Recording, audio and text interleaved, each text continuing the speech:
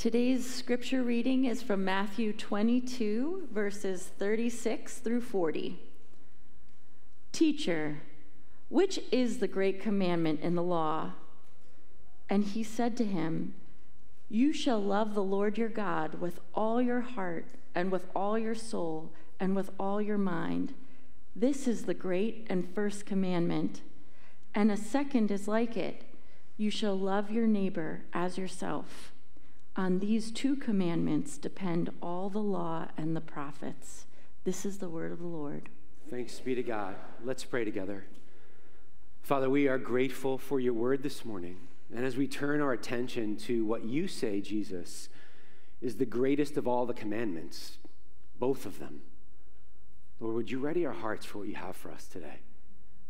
Would you ready our hearts for what you have for us this season?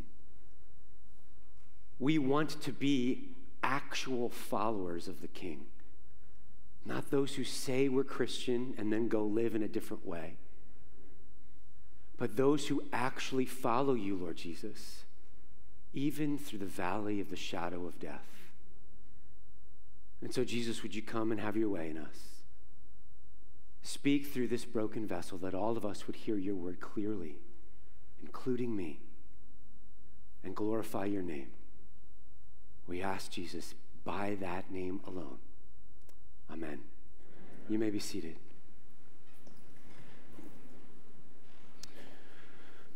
Vote for Pedro. Who is Pedro? Well, I'm glad you asked. Pedro is actually best friends with this guy. Who's that guy? Napoleon Dynamite. Raise your hand if you've seen Napoleon Dynamite. Come on, raise it high. Don't be bashful. All right, good.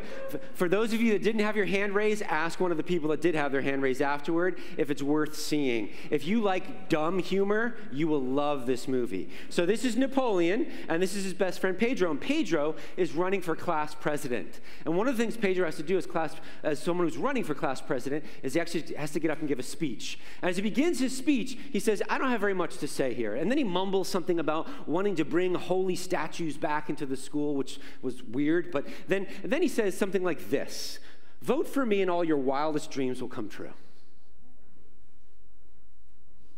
Vote for me, and all your wildest dreams will come true. And the audience responded just like you did nothing. Until his best buddy Napoleon stands up because he needs to have a skit as part of his presentation, and he does one of the best dance routines you will ever see in your entire life. It's worth watching just that scene alone. You've probably seen it because it's all over the internet, but it's worth it. And because he dances this, this dance routine and blows it out of the water, even though he runs off this, the stage completely embarrassed afterward, Pedro wins. He becomes the next class president. Why are we talking about Napoleon Dynamite and Pedro? Well, in case you didn't know it, we're actually in an election season. And as part of that election season, we're hearing lots of speeches that miss the mark. Lots of speeches that, for instance, promise things that they have no ability or intention of actually fulfilling. In an election season where campaigns seek to entertain us rather than actually speaking to the issues that are before us. And as Christians, the question needs to be what are we supposed to do about that? As Christians, how are we supposed to make sense of our world and live in a way that actually honors Jesus? This morning, we're starting a sermon series that we're calling Vote for Jesus, following our King through the muck of an election season. And that means this simply this. We are going to look at the things that matter to Jesus and talk about why they should matter to us and then inform the way that we vote. We are going to look at the things that matter to Jesus and then discuss why they should matter to us and absolutely inform the way that we vote. Now, I said that twice because just looking out at your faces and feeling what you're, you're feeling right now, let me give you a few disclaimers as we go into this sermon series, okay? First disclaimer we preach here about Jesus. We want you to know him and we want to bring you into his presence, and that isn't changing. And so we will be talking about issues, but only ever through the lens of Jesus, his person, his heart, his mission, and why that then matters to us because we matter to him. Amen? And so if we fall short of that, we've already fallen short. So it's going to be like every other sermon series we've ever preached in this place. It's all about Jesus. Hallelujah. That isn't changing. Second, no endorsements. You're not going to show up to All Souls one day and see uh, the lawn signs with some person's name on them that we're rooting for them to win the presidency. That's not what this is about. It's not about endorsing, it's not about stumping for anyone or stomping on anyone, but it's about staying, staying focused on Jesus and calling us to a higher standard because we're His because we're His. We're going to unpack more of what that means as we go through this sermon and through this sermon series. Third disclaimer a word about Christian nationalism. Right away, when I gave the sermon title, some of you thought this why on earth are we talking about this? This means we're Christian nationalists. We shouldn't be talking about this stuff. This is not stuff we should talk about in church. Let me just push back a little bit. Friends, everything the Bible talks about is theological before it's political politics and politicians seize on theological issues and make them political so that we don't talk about them anymore. And if we can't talk about them here, where on earth are we going to talk about them? Everything is fair game that Scripture talks about. In fact, everything on this planet is fair game because He made it and He made us. And He wants us to learn to, to live in this world together for His glory and for the sake of our neighbors, our friends, and hear this even our enemies. And so everything is fair game when it comes to talking about stuff like this. So if you're one of those who's already drinking the Kool Aid about, oh, Christian nationalism, we shouldn't talk about this, please let me challenge you here. That is a term that is new, it's only been around for a couple of years. And that term is incredibly pejorative. It is intended to shame us into not actually talking about the things we're going to talk about, from those on the outside at least. And so, defined from the outside, it's basically people saying it's Christians legislating their morality. It's Christians voting for Christian things and then expecting everyone to follow Christian uh, morals and values, right? And so it's viewed as bigotry, as offensive, as you fill in all the isms there. Two problems with that. First, all laws are legislated morality, all of them. It is never a question of to whether or not we are legislating morality when we make laws. All of them are legislated morality. The only question we need to ask is whose morality? Whose? Whose morality is going to be legislated? And if we are Christians and we believe that God made this world and made this world to function His way, and as His people, we are to be those who bless the world by living His way, then we should be voting His morality. All laws are legislated morality. Our God tells us His, and we should live like it, and part of living like it is voting like it. Second, the lie of secularism. In our culture, here's what we say um, we're, gonna, we're not going to make this religious, we're going to make it secular. Everything is secular. In the public square, we're secular. In the schools, we're secular. And we laud that as somehow being like non moral, non religious. Beloved, religion, defined by Webster's dictionary, is the study of man's interaction with God. When you define God as yourself, psst, there's still a God. It just happens to be you. That God is also Trinitarian me, myself, and I. And there are all sorts of laws that have, we have to follow as we worship the self. You know them, you see them all over social media. And there's all sorts of punishments that happen if you don't. You know them, you see them all over our culture. But here's the crazy thing when you can define a religion as not a religion, and then mandate that our schools and our government and our whole culture teach those things, guess what you've just done? You've coerced religious obedience and called it tolerance. Secularism is a religion. It is a religion that has a God and has ways, laws for us to obey. And to the degree that we believe the lie that, oh, we're just going to do this in a way that is not religious, we've completely misunderstood what it means to be human, always living in the shadow of the living God, friends. The lie of secularism. So, what you have here, when you, when you look at Christian nationalism as defined from the outside, is it is absolutely a trap that is meant to shame Christians into not talking about the values and morals that God says He wants us to live by and therefore vote as. So it should be, it should be called out as such, and it should be resisted as such. Now, having said that, there's also a way that this idea of Christian nationalism, in terms of its critique, is good for us as a church from the inside. It forces us to ask this question Where have we conflated what it means to be an American citizen with what it means to be a citizen of heaven? Where have we misunderstood that America is not the new Israel? Let me say that one more time. America is not the new Israel. The church is the new Israel. The church is the people of God. The church is the nation of God. The church is on mission for God. And our mission is about saving lost souls as Christians. That is the big picture. And that cannot be forced on anyone, that cannot be coerced on anyone. No one can be coerced into it, rather. Right? We have examples all throughout history of where theocratic states fail. Think about England before it was England. You had the Anglos and the Saxons. Ever wonder where Anglo Saxon comes from? There it is. You're welcome. That was free this morning. Anglos and the Saxons against the Danes. When the Anglos or the Saxons were in charge, what, guess what the religion was? Roman Catholicism. And if you did not uh, uh convert, you died. And, but when the Danes took over, they were the Greeks, they followed the Greek pantheon, and so they were the pagans. And so if you did not re- renounce Jesus and become a pagan, you died. They forced religious belief on people. Can you ever force someone to believe something? No, absolutely cannot.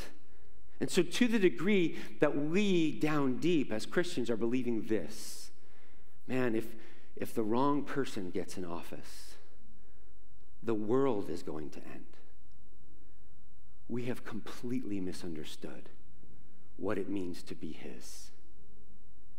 It doesn't mean there isn't blessing when we do things God's way. There is. It just means Jesus, when He comes back, didn't mention America. He doesn't promise that America as a country is going to be here when He does. It doesn't mean we're not great citizens and want to do what's best and bless our country. It does not mean that. But what it does mean is that our hope is firmly rooted first and foremost in our real home, heaven. Bless you, Timmy. So, beware. America is not Israel 2.0. Beware. We are heavenites, my term. We talk about citizens of heaven, Americans, heavenites. We are heavenites, and our hope and our mission is rooted there. Did I hear an amen? It sounded like a sneeze, but I take it as an amen. All right, fourth and final disclaimer we are not always going to get it right. Our intention is to graciously, faithfully, lovingly challenge, to walk in the truth and pursue Jesus. But there are going to be times when maybe we're not nuanced enough, times when maybe we're too aggressive in our communication, not gentle enough. And in those times, what we're going to ask you to give us is the same grace we're trying to give you. Because, see, the bait of Satan is offense. When you take offense, the other person becomes this terrible human being, right? This, this person that cannot and should not be loved because look at how terrible they are. The truth is that we just read in our text for this morning that God wants us to live by a different standard. And that's the standard of love.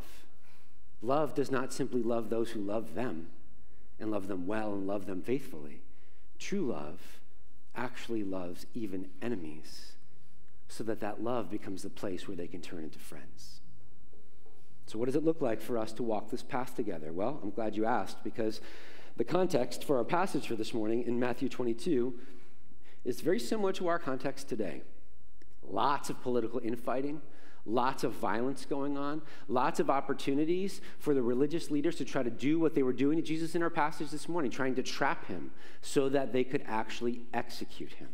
In fact, there's a Pharisee in our, in our text that's asking Jesus, which is the greatest commandment? And it's not because he's really interested in Jesus' answer. It's because he's looking for an opportunity to, have, to trip Jesus up.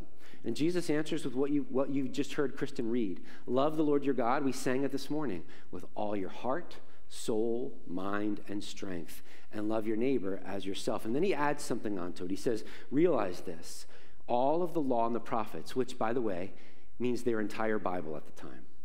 We call it the Old Testament. They just called it the Word of God. They didn't have a New Testament at that point. It was all of their Bible is summed up in these two things. It's not just the law, it's all of it, the whole story. If you want to know the whole story, here it is love Him with all you've got. And because you're loved by Him, go out and share that love with everyone you can. Share it with. That's the whole story. We could end the sermon right now. We won't, but we could. Notice what Jesus doesn't do in our passage for this morning. He doesn't give fear a foothold. He doesn't do what the, the culture around him is doing, and that is trusting in the, the love of power. Right? We want to trick you. We want to we want to get you in a place where you're in a place of weakness and we can control you and we can eliminate you. He, Jesus could have done that easily. Remember in the garden when he says, Don't you know who I am? I could just call down 12 legions of angels and wipe everyone off of this planet. But that's not why I'm here.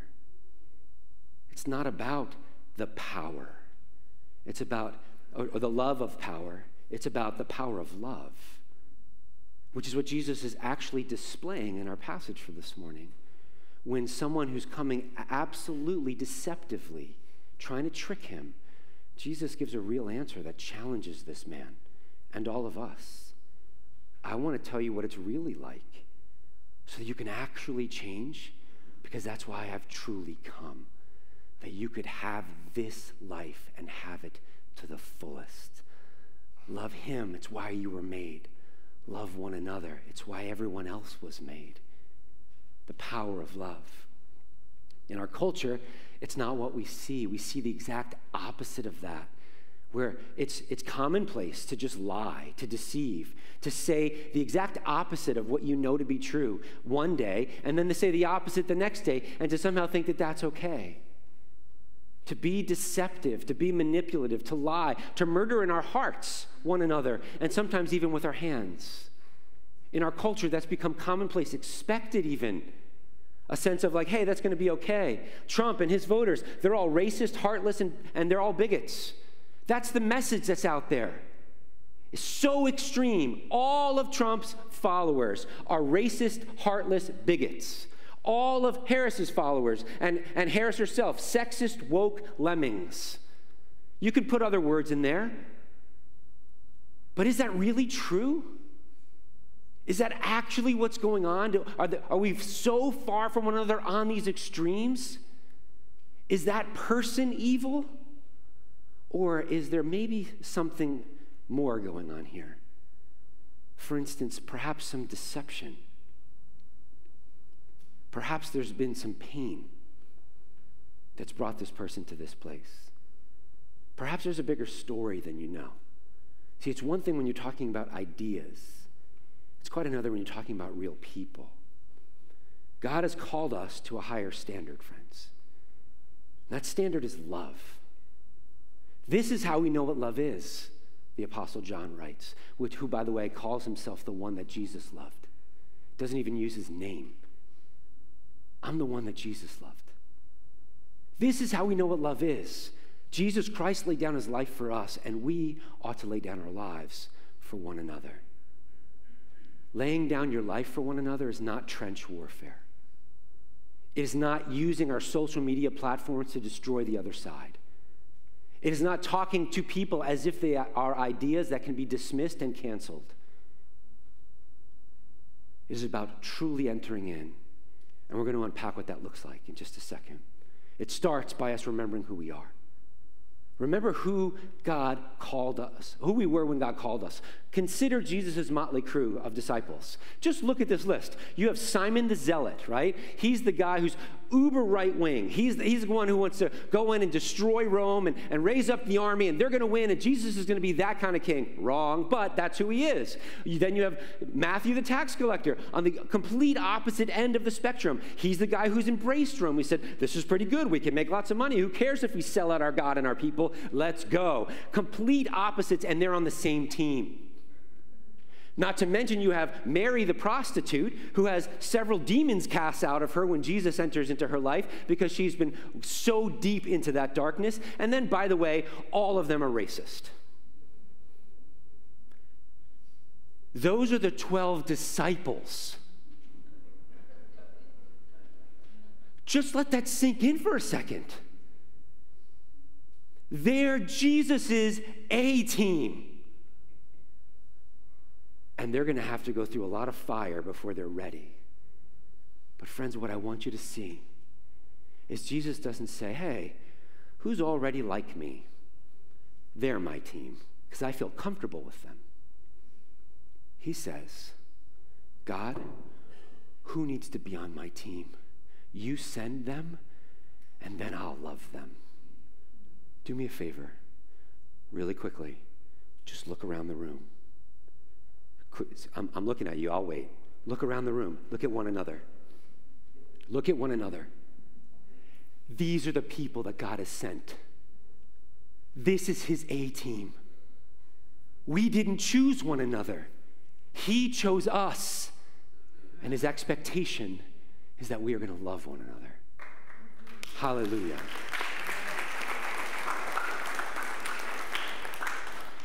Paul says it like this Consider who you were when you were called. And he basically says at the end, we were all fools, less than, had nothing, and yet Jesus saw us, chose us, came and got us, and brought us home. It's like we talked about last week with the parable of the prodigal son. If we don't start there, friends, if we don't start at the place of our desperation, then we start to act as if our lack of deception is because we're smarter than everyone else, or more holy than everyone else, or more moral than everyone else, when the reality is the only reason why you see clearly is because of the grace of God in your life. And the only reason why you're willing to look at what you see and wonder if you're actually seeing clearly is because of that very same grace in your life. Who do you want to be? No. Better question. Who are you in Jesus? Who are you? Who did he die to make you? And are you living like it right now? You see, Jesus doesn't say, Love the Lord your God with all your heart, soul, mind, and strength, and love your neighbor as yourself as something that he didn't already do. He's our Savior, which means he's done it all for us. He's fulfilled the law. He loved his father with all his heart, soul, mind, and strength. And then who was his neighbor that he loved? Do you remember when he's nailed to the tree, what Jesus says? Father, forgive them because they don't know what they're doing. Let me rephrase that. Father, forgive them because they are deceived. You know the number one definition of being deceived? Is you don't realize it. You're tricked, you're duped, and you don't know it. And so, some of you right here are wondering, who's he talking to? Who's deceived here? I wonder. And some of you are pointing at Liam, I saw. You're pointing at, or John, or, you know, to your neighbors, right? Like, you're pointing out other people in the room that might be deceived. You're like, clearly, Pastor Will is deceived because look what he just talked about, right? Like, and the whole time, the one person you're not asking the question about is yourself.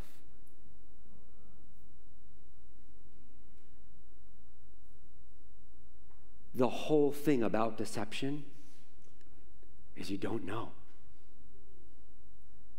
And so rather than just pushing past that, can we all start in the same place in this season as the one place on the, the face of the planet?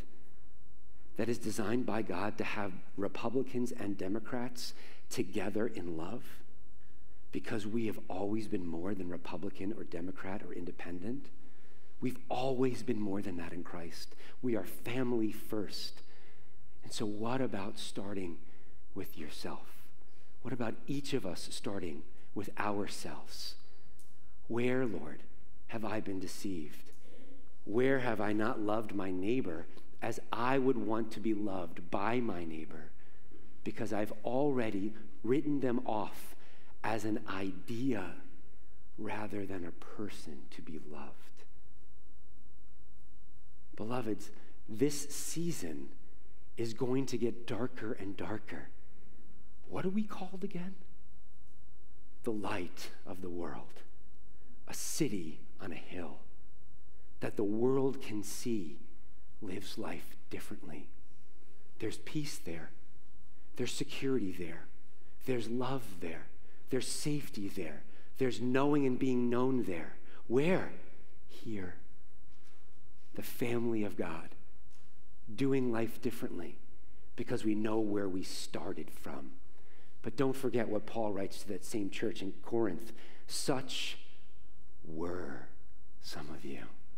As you consider who you were before Jesus came into your life, realize that's not who you are anymore. Hallelujah. We have been set free to live life differently because of what Jesus has done.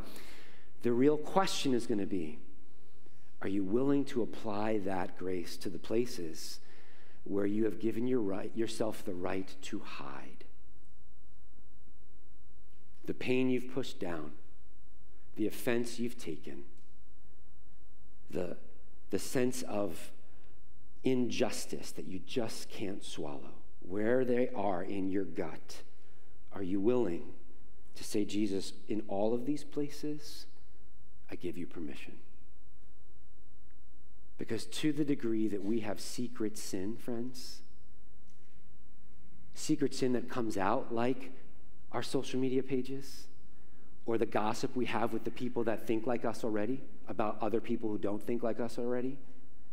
The secret sin that comes out all the time. So, in other words, psst, one more clue it's not secret, everyone sees it. That sin that everyone sees, including God, is an opportunity for you to confess your sin and learn again freshly that He is faithful and just to forgive us and cleanse us and give us the spirit of unity that we, we might be bonded together in the bond of peace. This is what it means to be His beloved, to do life differently, to love as our neighbor Jesus has loved us. Well, how do we do that? Well, we've been unpacking the first point already, believe it or not. So we're almost done with the sermon for those of you who are asleep. It says, Love Yahweh your God with all of your heart, your soul, your mind, and your strength. Why? Because when we start off here, Romans 5 8, God shows his love for us in this, that while we were still sinners, Christ died for us. When that's our starting point, that we did not get justice, please hear this. We did not get justice. What we got was grace, undeserved merit. When we start there, it changes the way that we interact with those who treat us unjustly. When we have been given such grace, it allows us to share that same grace with others. Let me share, you, share a story along these lines, and then another one after this. I wasn't sure I was going to share this this morning, but okay, Lord. My Aunt Dottie died on Thursday. She was one of the brightest lights in our world.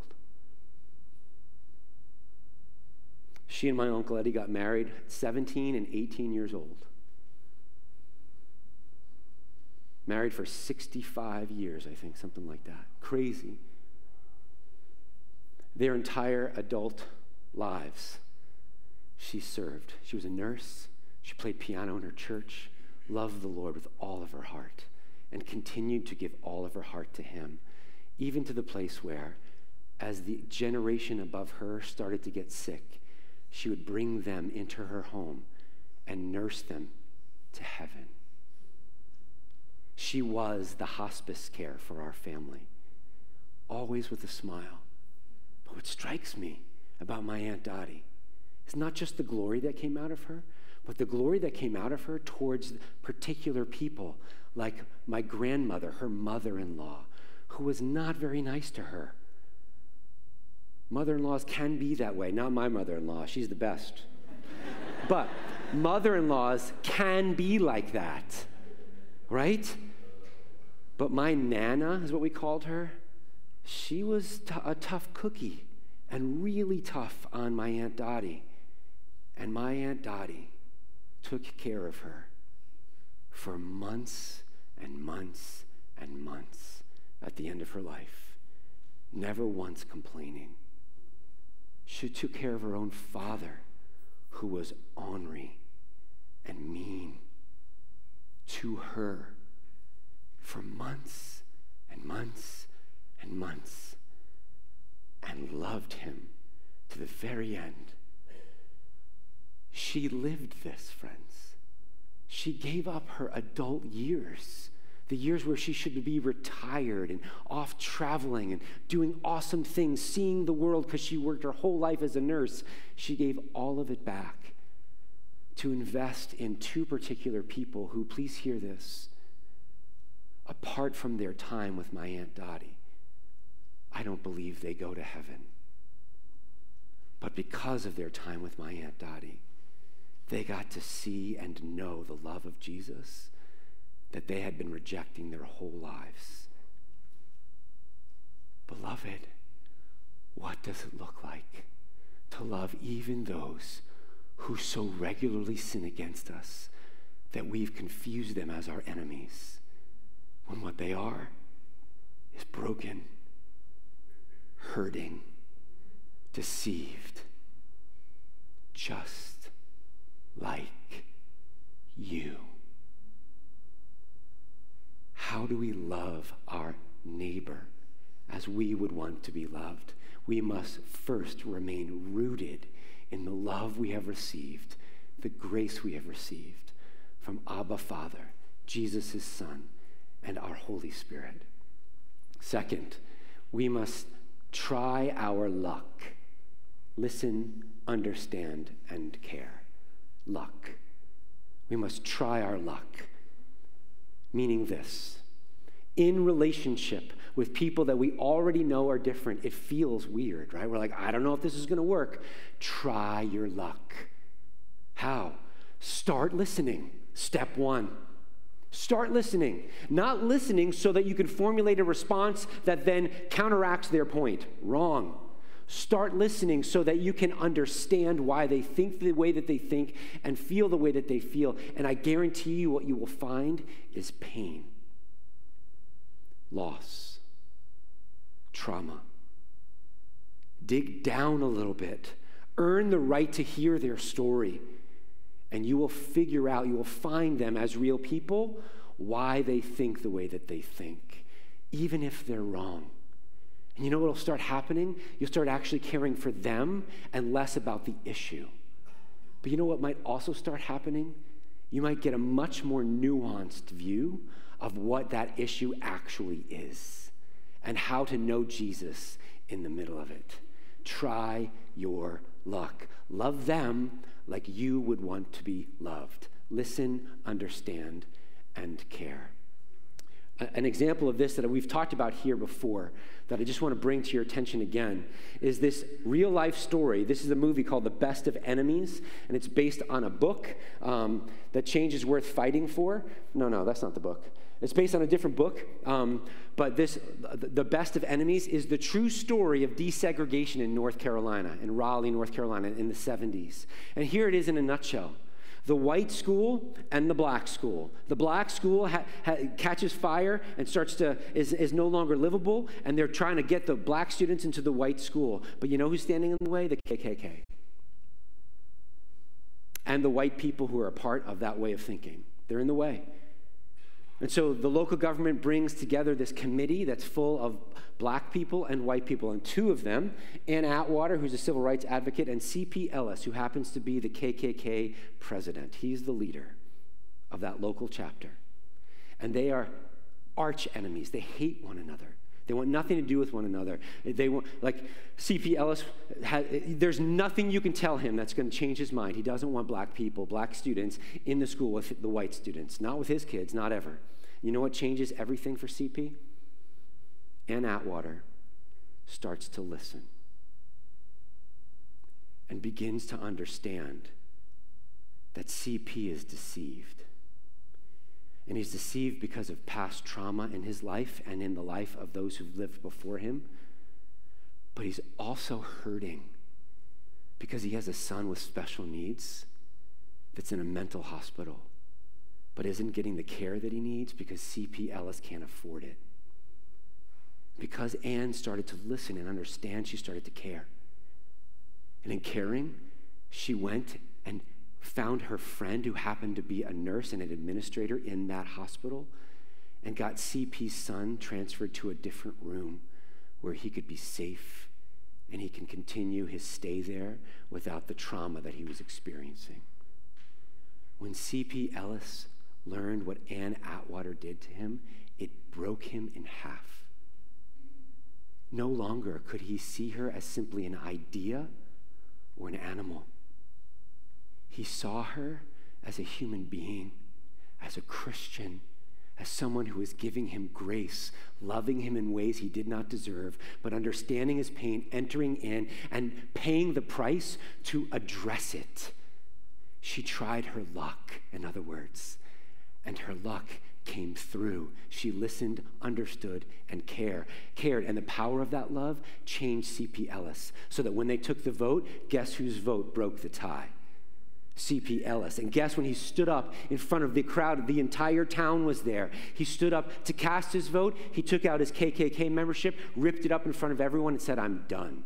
And then from that point forward, they traveled around the country telling their story of racial reconciliation. If you think that there is more to love in power itself rather than the power of love on display for all to see, you're still not listening. The power of love changes everything and everyone. It costs, yes, but it's worth the investment because it changes our world to be what it was always intended to be heaven on earth, enemies becoming friends, and not just friends, but family. This is what we're talking about.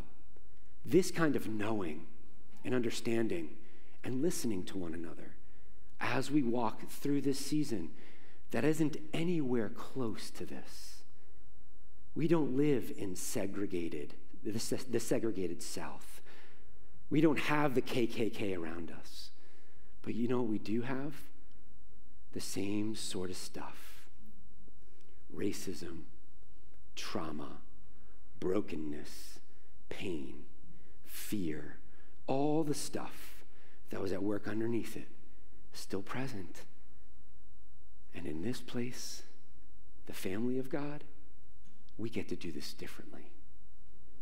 It's worth the investment, it's worth leaning in. I love looking out on a Sunday morning and seeing a foretaste of heaven in front of me. We're different on every level. That makes us stronger. That makes us more whole. That makes us more like Jesus. Because the last I checked, he doesn't want us all to be thumbs or big toes or knees. We're part of his body. We're meant to be different on purpose. And sometimes those differences are designed to actually help each other grow as we speak the truth in love to one another and grow up into Christ, who is our head. So here's our challenge for this morning as we think about this standard of love, this higher standard. Two things. Where's God calling me into deeper intimacy with Him so that He can heal and strengthen my heart for the season ahead? I'll rephrase that. Where is He calling you to love Him with all of your heart? Not most of it. All of your soul, all of your strength, all of your might. Deepening your intimacy with Him because from that place you can bear the storms. You can make it through. We can make it through. Where is He calling you deeper? Where are those hidden places, those secret sins we talked about? that He wants you to let go of? Where's the place of control that you're like, nope, for these reasons, I'm not going to? Wherever that is, He's not going to force your hand.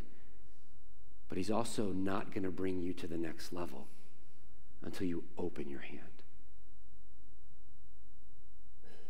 Number two, whom do I need to pursue in order to listen, understand, and truly care for him or her? Some of you already have people in your, your mind and in your heart.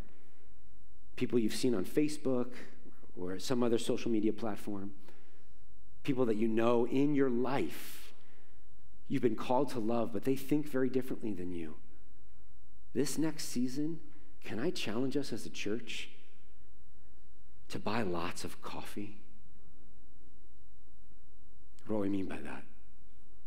Get together with people who are different than you simply to understand them so that you can listen, understand, and actually care. I guarantee you, friends, if you go into that with an open heart that's looking to actually learn and love, you will find yourself loved, encouraged, and actually you will grow. If you try to pursue something like that with the aim at changing someone else's mind and you, you reveal all of the deep stuff that you haven't dealt with yet, it won't work out so well. Step one comes first. Have that conversation with the Lord. Then, step two, ask Him. Love the Lord your God with all your heart, soul, mind, and strength. And then love your neighbor as you would want your neighbor to love you. It's always been clear and simple, but it will cost you everything. It will cost us everything to follow him like this. If you're willing, friends, what we're going to see in the season ahead is glory. Glory. We're going to see glory because we're going to see Jesus. Let's pray. Jesus, we don't want to just talk about these areas, these questions. We want to actually ask you. So, right now, Lord Jesus, I pray that you would reveal to each of us in this room and those online where are the places, Lord, where we have yet to experience intimacy with you because of our own sin, because of our bitterness, because of the lies we've believed, because of the trauma that we've experienced? Where are those places where we have resisted you? And you keep knocking. Would you bring them to mind right now, Lord?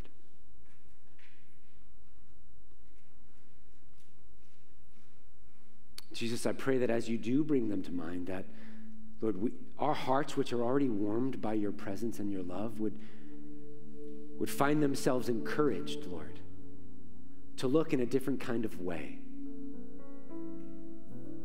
to not hear the voice of shame, because that's not your voice, and we bind the voice of shame in Jesus' name. I tell you to stop talking.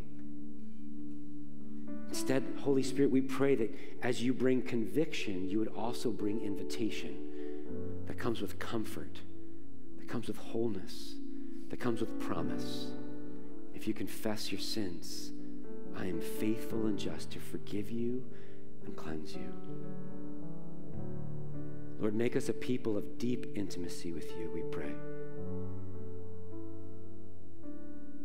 Lord, as you do that, would you also then show us the people that you've called us to love like we've been loved, to love our neighbors as ourselves?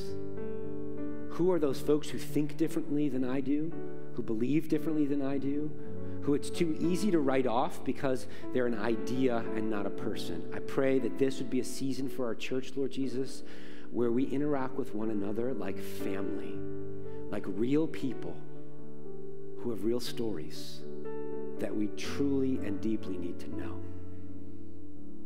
Help us to listen well, to understand, and to actually care. Jesus, we give this election to you. Thank you that you are in control.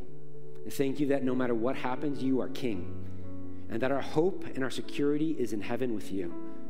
And that, Lord Jesus, you, your kingdom, as it has already broken in, will bring to completion the work that you've begun. And so, Jesus, we ask for the nations, not for the sake of America, no, for the sake of King Jesus, we ask for the nations We ask, Lord Jesus, that, Lord, many would come to know you in this season ahead.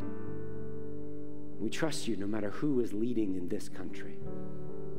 We ask for your blessing, for your guidance, for your favor in all of these things, even as we lay them down